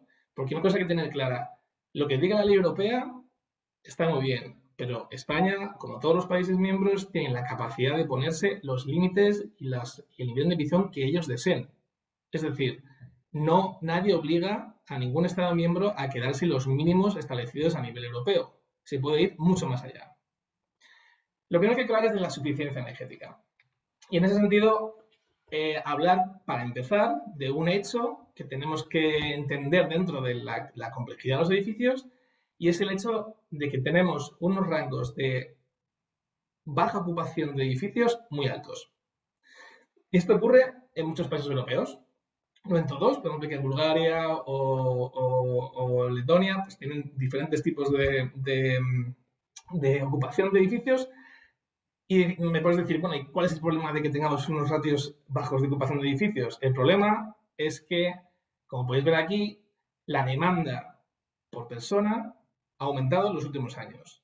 ¿Por qué? Porque ha aumentado el consumo de metros cuadrados de vivienda por persona, el medio. Por supuesto, hay gente y hay muchas situaciones en las que existe la situación contraria. Existen muchos edificios hacinados y gente con situaciones eh, de pobreza y de hacinamiento complicadas. Pero la media general europea es que consumimos más metros cuadrados, se construyen más edificios y el consumo por persona aumenta, a pesar de que la energía por persona por metro cuadrado, que es lo que evalúa la eficiencia energética de edificios, ha disminuido, podemos tener edificios más eficientes, el consumo por persona ha aumentado y al final la energía total que consumimos se neutraliza. Porque no entendemos o no estamos planteando dentro del contexto político la complejidad de este asunto, solo vemos los metros cuadrados construidos y cómo esos metros cuadrados funcionan a, nivel energético. Pero ¿qué pasa con el consumo? ¿Qué pasa con la gente que vive ahí? En ese sentido, hay un montón de estrategias y un montón de vías que pueden promover la reducción de consumo de metros cuadrados y tener buenas viviendas y tener buenos edificios. Esto es la suficiencia. Podemos plantear desde la promoción de espacios compartidos, la promoción de cohousings, la promoción de un uso de, de centrarse en la rehabilitación de edificios vacíos o no ocupados, no construir nuevos edificios, centrarse en esos edificios, cómo gestionar por ejemplo, el consumo de eh, eh, aplicaciones e instalaciones en las viviendas. Todos necesitamos una lavadora, todos necesitamos un, cinco televisiones. No podemos compartir algún tipo de, electrodomésticos que tenemos todos en una vivienda. Y sobre todo, la pregunta en este aspecto, ¿qué políticas existen a nivel europeo y español que apoyen a la gente que quiera hacer esto? Porque ya no estamos diciendo que hay que hacerlo todo el mundo, pero la gente que quiera hacerlo ¿Qué beneficios tiene? Pues lamentablemente ahora mismo muy pocos. Lo cual complica mucho que las personas que estén en una situación personal que quieran tener este estilo de vida lo puedan tener. El otro punto que quiero hablar es el tema de la economía circular. Igual que la suficiencia plantea el marco para lo que es todos los desarrollos eh, a nivel, digamos, de uso de recursos existentes y cómo podemos reducir nuestra demanda, la economía circular se centra en no perder o, digamos, utilizar de manera eficiente nuestros recursos materiales. Y eso quiere decir que los edificios no consuman más materiales y no produzcan más, eh, digamos, residuos. Y eso tiene que ver con todo el ciclo de vida del edificio. Edificios que están pensados para poder ser reversibles, edificios que están pensados para poder ser utilizables en sus materiales y que todo eso se, genere dentro del ciclo de la vida del edificio y no necesite una producción mayor de recursos externos. Por ejemplo, tenemos un, ejemplo muy interesante de un proyecto europeo que se llama BAM, donde ellos, eh, digamos, evalúan en tres aspectos, la adaptabilidad, la capacidad de reuso y la capacidad de ser desmantelado un edificio para ver su nivel de circularidad. Y estos son, digamos, proyectos y acercamientos que ya existen, ya están estudiados y están puestos en, a la disposición de todos. La pregunta es si queremos o no queremos coger este conocimiento y ponerlo en uso, por ejemplo, en la renovación española. Y me decís, pero esto es muy complicado, una renovación, ¿cómo vas a hacer este tipo de de acercamientos.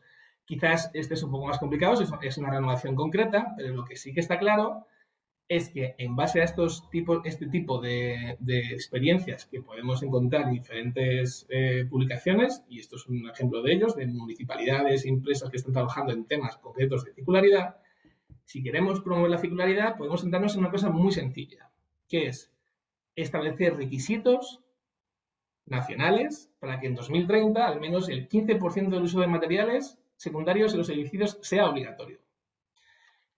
Esto es parte de la circularidad. ¿Por qué? Porque no existe ahora mismo un, un mercado de circularidad suficientemente respaldado por las políticas para que siga creciendo y siga promoviéndose. Actualmente son más iniciativas municipales o iniciativas casi eh, locales, pero no hay un, digamos, un espacio amplio para todo esto. Y el principal asunto que tenemos aquí es, vale, muchas empresas pueden decir, no, es que es muy complicado la gestión de residuos y la gestión de materiales secundarios y, reciclados, pero es que hay muchas empresas que están trabajando en esto. ¿Y qué beneficio o qué respaldo tiene una empresa que promueve eh, materiales reciclados y reutilizados respecto a otra que no lo hace? Pues actualmente ninguno, o muy poco. Y eso es una decisión política. Eso es como nosotros queremos hacer estas renovaciones. ¿A quién queremos dar una prioridad? Y no es una cuestión de ir en contra de nadie, es una cuestión de abrir el abanico a, empresas y emprendimientos que están promoviendo un tipo de eh, acercamientos más sostenibles. ¿Y por qué el 15%?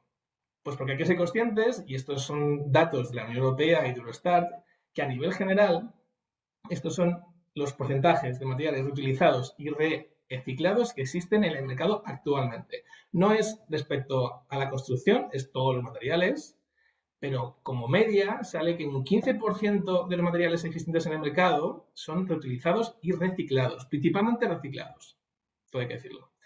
Bueno, pues puede ser que tenga sentido que pensemos que de aquí a unos años en la construcción se pida que ese 15% que ya existe sea obligatorio. Y esto va a cambiar nuestra manera de pensar, nuestra manera de pensar cómo gestionamos edificios, cómo gestionamos los materiales y luego cómo utilizamos esos materiales en renovaciones y nuevos edificios. Y además esto está alineado con otros temas, por ejemplo, como el, plan de economía circular a nivel europeo, que promueve que en 2030 deberíamos duplicar el uso de materiales utilizados y reciclados en nuestra vida. En construcción es un tema más en todo este proceso. Entonces, en ese sentido, em, ¿cómo podemos crear el marco político para que este tipo de acciones tengan cabida a nivel europeo. Hay ciertos aspectos que se podrían incluir en la directiva de edificios que no están, porque actualmente lo que se ha incluido respecto al ciclo de vida del edificio de carbono es solamente, digamos, em, eh, hacer reportes sobre, el, sobre la situación del carbono de la vida del edificio, pero en 2030. Es decir, no se ha puesto ningún tipo de objetivo en 10 años para empezar a reducir las emisiones incorporadas del edificio solamente informar del carbono en 2030, por lo cual perdemos 10 años de hacer algo respecto a este problema. Y lo que entendemos es lo que es necesario es tener una hoja de ruta que sea progresiva y que empiece a poner límites al CO2 que, que, emitimos los edificios en 2027 respecto a los datos que se vayan recopilando durante estos años. Y una reducción progresiva. No vamos a empezar desde la, situación más ambiciosa, pero vamos a ir empezando a trabajar en esto. Pues esto no está en la misma directiva. Tampoco se ha alineado la ola de renovación con estos procesos. Es decir, ¿cómo vamos a renovar en España? ¿Cómo se van a renovar en los Estados miembros? ¿Se va a tener en cuenta todas estas emisiones incorporadas o va a ser algo que se va a pasar un poco por encima? Se va a aislar los edificios y ya está lo que proponemos es que estos planes de renovación eh, nacionales tengan en cuenta cómo se va a implementar la de renovación para que sea realmente un punto de inflexión en la manera en la que renovamos y ofrecemos nueva vivienda a los ciudadanos. Porque si no, podemos seguir haciendo lo mismo que hemos hecho hasta ahora, no van los edificios y nos quedamos igual. El siguiente punto es cómo incluir dentro de la normativa que estas estrategias de circularidad y suficiencia tengan requisitos mínimos para asegurar que el consumo de materiales de CO2, eh, de, materiales de, bajo CO2, sea eficiente y sea obligatorio. Y de consumo de materiales, porque podemos hacer una renovación con una alta eh, capacidad de emisión de CO2, que tampoco es lo que queremos ahora mismo. Y por último, eh, apuntaba muy claramente Alfredo el tema de los sistemas de calefacción y refrigeración, que en España eh, afortunadamente ya no se, no, se financian, pero es verdad que tenemos que ser ambiciosos en hasta qué punto podemos seguir alargando el uso de calefacción y refrigeración eh, basada en combustibles, porque es que tenemos herramientas y tenemos tecnología para hacer otras cosas. O sea, los, las bombas de calor consiguen llegar a un nivel de calentamiento del agua de 75 60 grados eh, igual, que, igual de eficiente que otras soluciones. ¿Por qué seguimos instalando bombas, eh, eh, refrigeración basada en, combustibles fósiles si tenemos alternativas más eficientes y más, más eficientes, no, pero más limpias. Bueno, pues este tipo de, estos cuatro conceptos son los principales que, que me gustaría ver dentro de la eh, Directiva de Eficiencia Energética, que actualmente no están si queréis, podéis ver un poco más nuestra posición con todo esto en, nuestra página web, que tenemos más desarrollado lo que acabo de contar. Pero quería simplemente, respecto a lo que he planteado, hacer las preguntas de cómo vamos a hacer esta renovación en España. Y son más preguntas que otra cosa, porque como explicaba, los criterios de cómo se va a hacer en España lo decide el Estado español. Entonces hay como cuatro preguntas principales. ¿Quiere España ser la vanguardia del sector de la construcción? Porque la vanguardia del sector de la construcción ya no es construir un edificio más alto, ya no son las cuatro torres de Madrid, ni es, ni es el Bernabéu. El la vanguardia del sector de la construcción es cómo reducir el CO2 en todo el proceso de construcción y cómo promover una renovación de edificios, no de nueva construcción, sino de renovaciones que puedan generar alternativas de vivienda a todos los ciudadanos. Eso es el, la vanguardia.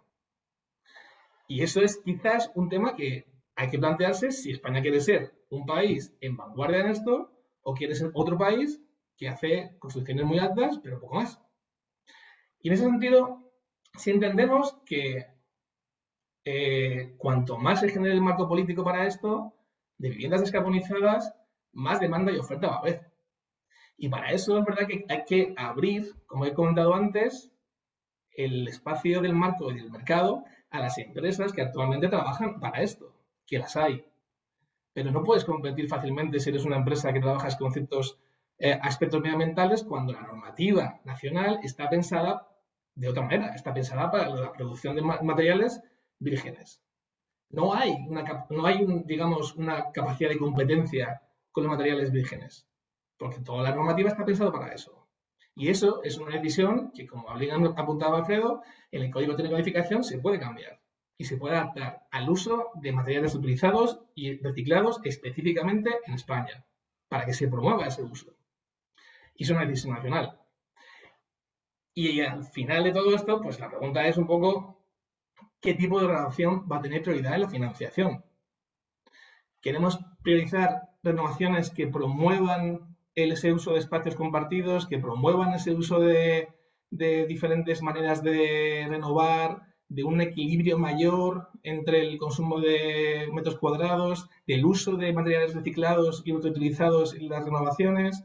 Por ejemplo, en Portugal tienen en el plan de renovación han incluido que para poder ser financiado tienes que tener un porcentaje de materiales utilizados y reciclados en tus renovaciones. Eso se puede hacer también en España y se promueve un mercado distinto y se da esa apertura a las empresas que están trabajando en eso. Es una decisión que tengo que tomar.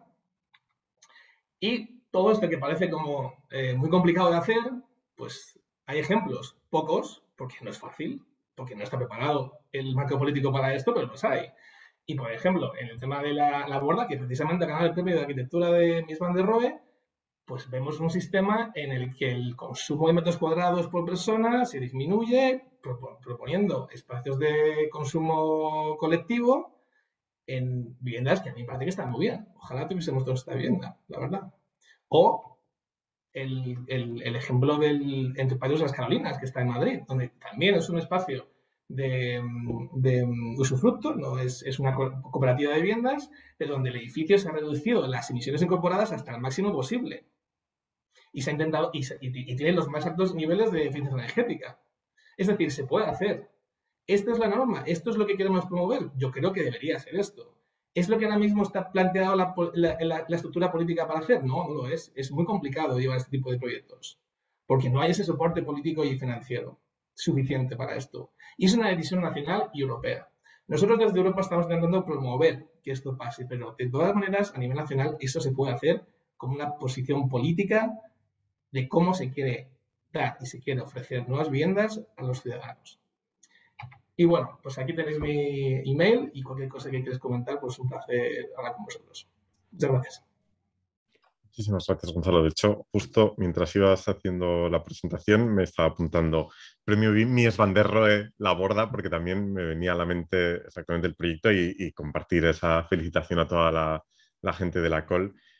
Bueno, de nuevo, muchísimos temas de que hablar. el tema de la eficiencia energética, o sea, más de la eficiencia energética, las emisiones cero eh, reales o operativas es un tema a tratar y que, como dices, pues si vamos a empezar a tener en cuenta esto en 2030 y el plan de recuperación en teoría acaba en 2026, pues ya quiere decir que todos estos cuatro años de inversión interesante en rehabilitación pues va a pasar por alto, a no ser que hagamos algo pronto de algún modo, pues todos estos temas de, rehabilitación. Eh, quería traer ya abrimos eh, la mesa de debate, estos 20 minutos que nos quedan, hemos empezado un poquito más tarde.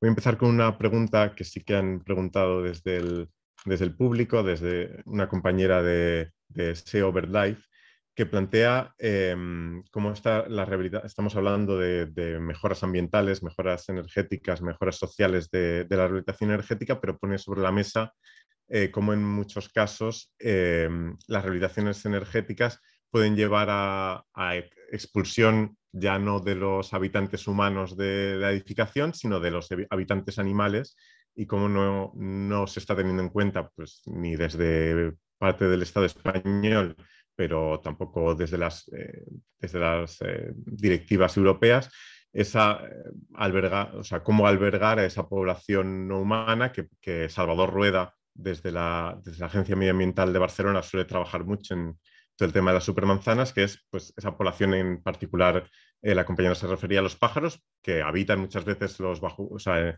espacio bajo las cubiertas, ese tipo de espacios que al final en los procesos de rehabilitación pues, se destruyen sus hábitats y que tampoco estamos teniendo en cuenta una reocupación, una rehabilitación de esas especies. No sé si tenéis algún punto. Realmente eh, sale un poco de la temática de la de la jornada, pero sí que me pareció un tema que, en cualquier caso tiene, tiene interés. No sé si tenéis algún, alguna opinión al respecto o algo que, de interés que aportar. Sí, si quieres, yo te puedo em, dar una, reacción a esto. Es, una pregunta muy interesante y creo que no es eh, eh, fácil de, de responder. Em, voy a compartir un ejemplo. Eh, dentro de ciertas políticas europeas, no sé si conocéis, bueno, algunos de vosotros conoceréis lo que es la taxonomía, que es una, digamos, una propuesta de la Unión Europea para fomentar que las empresas tengan criterios de sostenibilidad. Y uno de los criterios que hemos estado trabajando ha sido el tema de la biodiversidad dentro de los edificios. Y de manera, un poco lo que sí que las discusiones que hemos tenido y también creo que compañeros nuestros también del nivel europeo, eh, sí que hemos, eh, digamos, debatido que el principal impacto en el tema de la biodiversidad, más allá del edificio en sí, es en la cadena de producción de materiales, el transporte y la construcción. Y esa visión holística todavía no se tiene. Es decir, por supuesto que medidas que puedan favorecer la biodiversidad entre los edificios, como lo que ha comentado Javier u otras, que se pueden tener en cuenta, o por ejemplo la permeabilidad de los suelos para que el agua que llegue pueda llegar hasta los eh, recursos hídricos eh, subterráneos, eh, es importante plantearlos, pero si obviamos todo el impacto de extracción de materiales, todo el impacto de sonidos y de ocupación de territorio, como minerías, industrias, transporte, todo ese impacto medioambiental impide que la biodiversidad tenga un desarrollo sostenible en el territorio estamos quedando solo una parte del problema. Entonces, en ese sentido, es verdad que, actualmente sí que hay un poco de debate con todo esto y se está intentando ver de qué manera se puede abordar un poco el ciclo de vida de todo el edificio y el impacto medioambiental que tiene como, proceso, no solo como objeto final. Pero no tengo ahora mismo los criterios finales, así que lo siento por... no, muchísimas gracias. Comparte Beatriz de SEO un informe por el chat. Eh, luego ya pasando a preguntas o cuestiones que, me iban surgiendo o que alguna recogida ya de casi de antes de, la ponencia, en relación a la presentación de Alfredo, pero que yo creo que nos toca un poco a todas, em, quería hablar o, centrar un poco más el tema que ya has incidido mucho en él, pero el tema de las normas mínimas de eficiencia energética. es un tema que, desde CODES hemos, hemos trabajado bastante, lo estamos intentando trabajar, intentar, intentando traer al, ámbito y era aparte de, preguntar eh, casi directamente de si está habiendo, entiendo que está habiendo negociaciones con el MIDMA, que también tiene una responsabilidad en planes de rehabilitación, etcétera. Eh, ¿Cuáles son vuestras, vuestra perspectiva eh, respecto a esa norma. En particular, porque como ya se ha mencionado también durante casi todas las ponencias, el contexto español dentro de la Unión Europea es bastante diferente. O sea, dentro de la Unión Europea, o sobre todo Centro Europa, que hay una priman esencialmente las viviendas unifamiliares o, hay un equilibrio mayor entre viviendas unifamiliares y viviendas colectivas, mientras que en España estamos hablando de un, entre un 60 y un 70%, si no me falla la memoria, de población en vivienda colectiva, teniendo en cuenta toda la, dinámica necesaria para rehabilitar un edificio de vivienda colectiva en relación a un edificio de vivienda unifamiliar.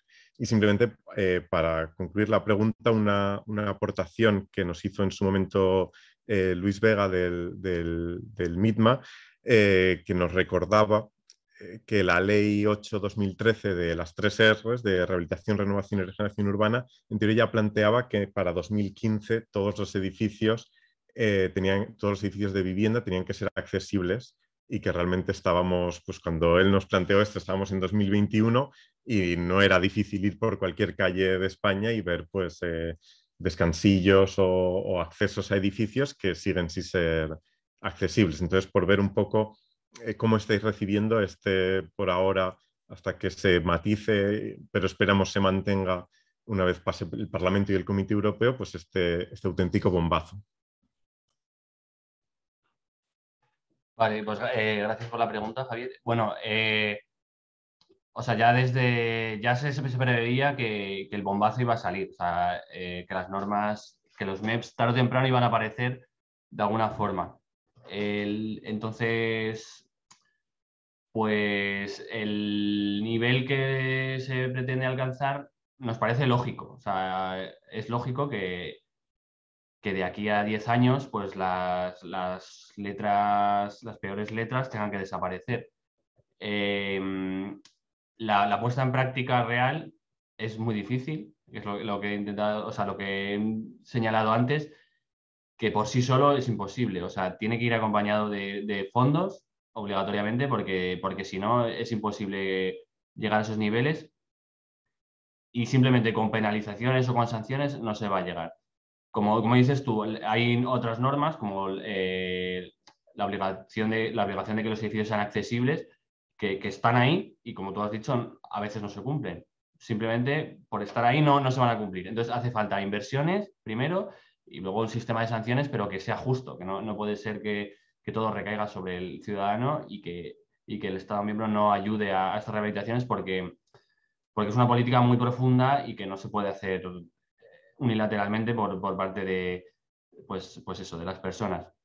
Entonces, el, nivel que se pretende alcanzar mm, es lógico, pero, pero tiene que estar bien matizado en la directiva o al menos que, el Estado miembro pueda, pueda desarrollarlo muy, muy bien para saber exactamente qué es una G, qué es, es, un edificio, o sea, que una G sea realmente un edificio que con, con malos rendimientos energéticos, que compense rehabilitarlos, o sea, que sea económicamente viable, que, repercuta en, en, las emisiones y que, y que además se priorice sobre los edificios que, peor están. O sea, aquí hay, que, aquí hay que valorar en qué zona climática está, porque claro, un edificio en Madrid o en Castilla eh, tiene mucho potencial de ahorro en calefacción. Un edificio en Andalucía, como señalaba antes, pues tiene más potencial de ahorro en refrigeración. Pero todos tienen que alcanzar el mismo confort. O sea, todos. No, ¿por, qué en, en invierno tenemos que estar a 21 grados y en verano tenemos que estar a 40 en una casa? Hay que alcanzar el mismo nivel. Entonces, tiene que ser justo esa, distribución de, cuál es el peor, el 15% de peor, peores edificios a nivel territorial también. Entonces, eso es otra, otra cosa que, la directiva todavía no está definida y que es algo que, nos, que nos preocupa ahí. Y si no, bueno, y si, y si no se define la directiva, pues que, que, al menos dejen al Estado miembro definirlo bien y, conforme a la situación de cada uno, porque, claro, en, digamos, en Alemania o en Polonia, pues tienen una uniformidad de edificación más que, o sea, son más uniformes los edificios que en España, porque nuestras zonas climáticas son bastante diversas y entonces necesitamos algo de flexibilidad o que tengan en cuenta este, este aspecto. Y mm, no sé si me dejo algo de lo que más. yo creo que, está muy, muy bien contestado. Em, antes de pasar a un par de preguntas que han aparecido, otro tema que, quería plantear, que, que, yo creo que habéis tocado tanto Carmen como Gonzalo, pero que a la vez es, muy difícil abarcar, entiendo, desde el tema de las desde el punto de vista de las directivas europeas, es la escala local de la rehabilitación. habéis, hablado tanto de las emisiones o los microclimas necesarios a la hora de plantear en la rehabilitación energética en el contexto de climas cálidos, como, eh, como esa compensación de emisiones debería producirse en el propio ámbito. Y para ello me parece que una herramienta importante es más allá de la rehabilitación de edificios por tipología es la rehabilitación eh, espacial casi, o sea, la rehabilitación de distrito, que por ejemplo asociaciones europeas también como, como Housing Europe, eh, que, que, representa a las, entidades de vivienda social de Europa, pues defienden encarecidamente, pero que no vemos reflejada en la directiva europea porque quizás sea muy difícil de plantear o de nuevo pues hay un tema de, de diferencia de contexto centroeuropeo al contexto español que, pasa por alto eh, la, pertinencia de la, rehabilitación a, escala de barrio. Entonces, eh, no sé si básicamente quería pararme un poco en este tema para poner sobre la mesa esta necesidad y, quizás plantear las dificultades que, que, se darán si solo rehabilitamos los edificios a escala del propio edificio para cumplir, por un lado, con, la eficiencia energética en los climas cálidos y con la neutralidad de carbono eh, en la totalidad del parque edificado español. Bueno, pues yo, si le parece bien a Gonzalo, o sea, creo que, es, eh, es, fundamental empezar a pensar en, esos, en esas inversiones en trozos de ciudad, que tampoco es nada nuevo porque ya hemos tenido em, políticas que iban enfocadas a, transformar trozos de ciudad, pero yo creo que se le superpone esa transformación ambiental también, que quizá eso no estaba tan claro, no estaba puesto sobre la mesa en la rehabilitación integral de barrios, em, en la regeneración urbana integrada, eh, pues solamente incidir también en esa en esa necesidad de, transformación de, espacio urbano y la conexión que eso tiene con el acondicionamiento ambiental de las viviendas. ¿no? Ese, espacio yo creo que no, estaba, no está reflejado y no hay nada eh, orientado de manera específica a esto. Así que, por un lado, están los municipios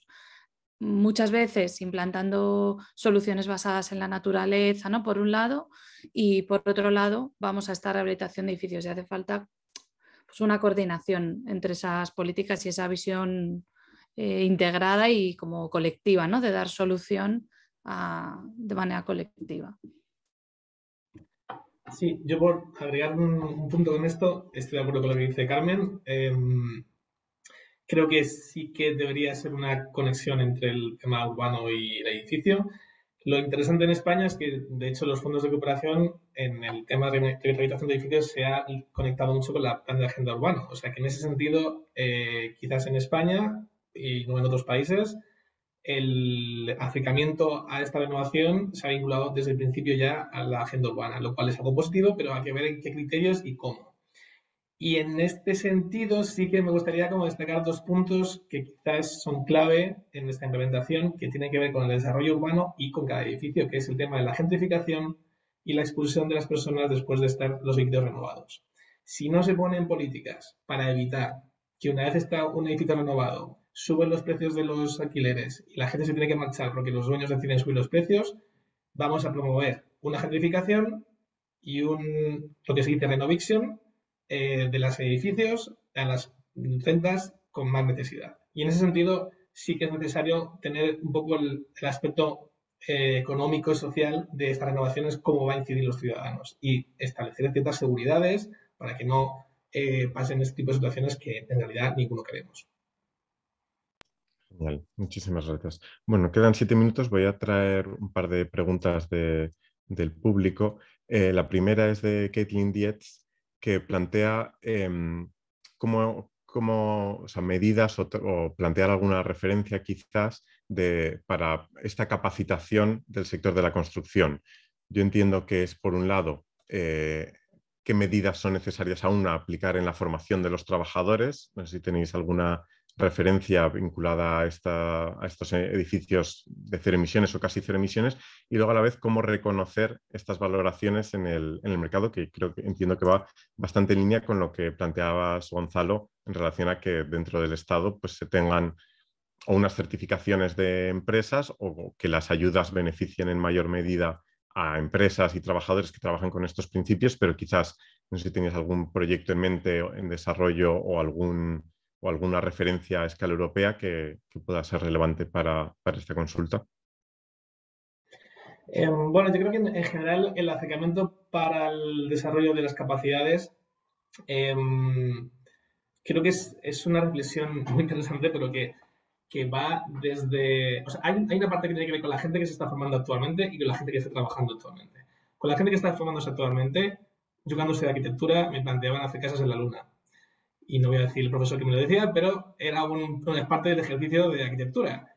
Pues quizás ahora el ejercicio es cómo puedes conseguir un edificio que tenga emisiones cero o reducir las, las, emisiones incorporadas, ¿no? Eso por un lado. Y por el otro lado, la gente que está trabajando actualmente en la construcción, yo entiendo que hay mucho debate con todo esto, em, pero sinceramente creo que la formación de las personas es suficientemente buena como para que esa transición se pueda hacer. Se hizo ya con la eficiencia energética en tres años o en dos años todo el mundo se va a hacer certificados de eficiencia energética. Es decir, lo que hay que crear son herramientas concretas para que la gente las pueda utilizar y aplicar eficientemente para tener en cuenta el ciclo de vida del edificio, las emisiones de carbono y cómo eso se puede aplicar de manera sencilla. Y eso es un trabajo que hay que hacer previo al, a, a, los instrumentos. Y respecto a cómo promover a nivel local, Estoy de acuerdo con Javier que lo que decías de que a nivel europeo es muy complicado meter algunos aspectos municipales y locales porque son competencia regional y nacional. Y en ese sentido sí que cada mm, Estado miembro tiene la capacidad completa de decidir cómo lo quiere hacer. Y hay diferentes maneras. Desde lo que he comentado, esta, este, mm, esta experiencia portuguesa en la que exigen mínimos de materiales reciclados y utilizados, o por ejemplo en, eh, en los procesos de procurement eh, local municipal, puntuar más a las propuestas que ofrecen eh, materiales reciclados, reutilizados de bajas emisiones o de eficiencia energética sostenible o con algunos sistemas que promueven esa reducción de, CO2. Es decir, hay variables en las que se pueden promover las alternativas existentes en el mercado de empresas que promueven productos y soluciones con menos emisiones de carbono en el ciclo de vida. Genial, muchísimas gracias. Y por traer eh, la última pregunta que planteaban desde el público, más que una pregunta quizás, una cuestión, es el tema de la comunicación, que es algo que nosotros eh, también nos preocupa mucho, en particular eh, cuando trabajamos con población en situación de vulnerabilidad, la necesidad de hacer llegar esa, esa, comunicación. En este caso ya no estamos hablando tanto, ya no solo estamos hablando de, de cambio climático, que sí que son temáticas que se comunican, aunque no sabemos hasta qué punto permean en la población, pero quizás eh, estas temáticas como, pues por ejemplo, en, base a la eficiencia energética en edificios, la directiva de la eficiencia energética en edificios, pues cómo se realizan las comunicaciones de, estas futuras normas mínimas de eficiencia energética. O en el caso de la circularidad, pues cómo comunicas este, tema, este tipo de materiales eh, o que los materiales están cumpliendo eh, estas, estas condiciones o dentro del punto de vista de, la rehabilitación de barrios, pues también cómo pones sobre la mesa o cómo presentas de cara a un público general esa necesidad de tener esos puntos fríos. O sea, a día de hoy, ¿cuánto se está haciendo? ¿Cuánto creéis que está permeando? ¿Y qué haría falta hacer para quizás incluso mejorar la labor que podemos hacer desde organizaciones como ECODES de estas labores de comunicación? Si queréis, em, empiezo yo. Bueno, eh, la verdad que la comunicación en temas de eficiencia energética es un, o sea, es un debe muy grande porque es muy difícil de visualizar eh, en la práctica qué supone una inversión para, la persona de a pie en, temas de eficiencia energética y es una pelea constante el que, claro, haces es una inversión grande, muy grande, en un momento que, es la barrera más grande que hay y la gente no percibe los retornos eh, eh, inmediatamente y eso es algo que, es muy difícil de, de superar. Entonces, interiorizar ese ahorro progresivo que se da a lo largo de los años, en tres años, en diez años, en lo que sea, es, muy complicado y es, algo que, siempre se intenta abordar desde el, desde el ministerio. Eh, es muy fácil ver cuando se instala una, por ejemplo, una placa fotovoltaica, cuánto se ahorra.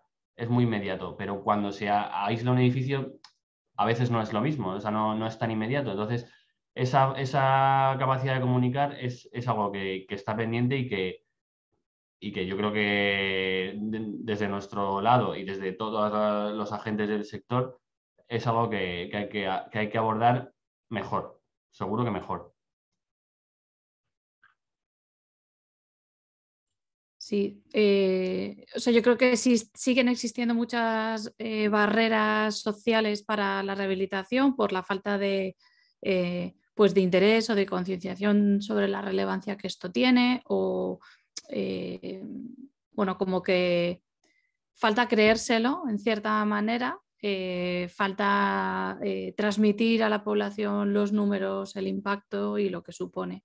Y luego yo creo que habría como, como dos escalas, ¿no? una población general pero luego también eh, cuando hablamos de la población en situación de vulnerabilidad, cómo se llega, cómo se explica eh, de manera clara, de manera accesible. Em, nosotros ahora eh, no es directamente relacionado con eficiencia energética, pero sí al hablar de pobreza energética de verano y de lo importante que es em, estar frescos en, en verano, ¿no? Em, pues lo que se, habla mucho de la cultura del calor, que se ha perdido, de, qué puedes hacer y qué no puedes hacer durante las altas temperaturas, cómo utilizar tu vivienda. hay muchas, muchas escalas, por así decirlo, de comunicación que son necesarias, las que llevan a transformar físicamente los entornos construidos y las que llevan a transformar el comportamiento de los hogares. Yo creo que, en ambas hace falta un, gran esfuerzo de comunicación y yo creo que que las distintas eh, instituciones tenemos mucha responsabilidad, pero las instituciones públicas pues tienen mucha ¿no? para esas campañas em, de, concienciación. Siempre ahora, por ejemplo, con, la crisis energética, el incremento de los precios de la energía, de repente todo el mundo se da cuenta que no sabe ni qué tiene contratado eh, de la luz, ¿no? Ah, mercado regulado, mercado libre. No sé, conocemos mucho mejor las tarifas que tenemos de, en el móvil y de wifi que son bastante complejas también, eh, las conocemos mucho mejor que lo que tenemos contratado en casa, ¿no? Y de repente han saltado las alarmas y todo el mundo se preocupa de, cuándo pone una lavadora o de cuándo pone la calefacción, ¿no? Entonces yo creo que, sí, falta, falta y, bueno, yo creo que también estamos en ello, ¿no?